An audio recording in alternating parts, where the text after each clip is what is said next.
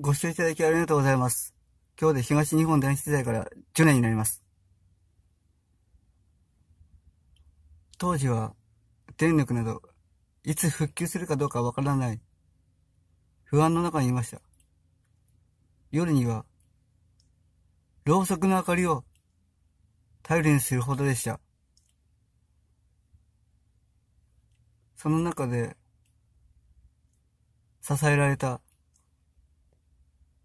特別な曲があります。大好きな曲はたくさんあるんですけども、特別な曲は限られています。その一つが、